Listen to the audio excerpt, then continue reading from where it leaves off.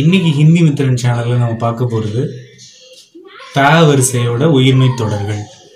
So வரிசையை நான் த வரிசையை எழுதிக்கிட்டே வரேன். கவனமாக பாருங்கள் ஸோ இது த அடுத்தது தா. ஸோ மூணாவதாக எழுத போகிறது தி. எப்படி படிக்கணும்? தி. ஸோ தீயோட நெடில் தொடர் தீ. ஸோ தீக்கு அடுத்து து